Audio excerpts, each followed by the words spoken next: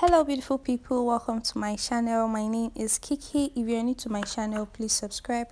If you've been here before welcome back. I want to talk about the FaceFacts ceramide moisturizing gel cream. This product contains five ceramides and hyaluronic acid and also oats. So this product is from FaceFacts and FaceFacts is actually a very good skincare brand this product nourishes dry, sensitive skin and can help restore and maintain your natural moisture barrier. So this product is actually for all skin types, oily, normal, dry, combination skin. If you have any of these skin types, you can make use of this face moisturizer.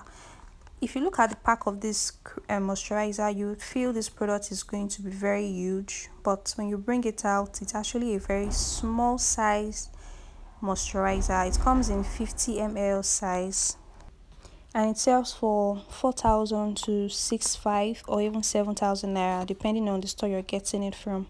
So this moisturizer can be used in the morning and also at night. It doesn't really contain any active lightening ingredient in it. It's a moisturizing face cream or gel cream. And if you're having dry skin you want something that will moisturize your face very well without any form of um, irritation you can make use of this face moisturizer.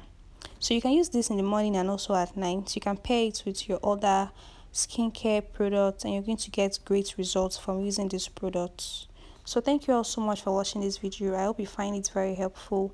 And please do not forget to subscribe to my channel. I'll see you all again in my next video. Bye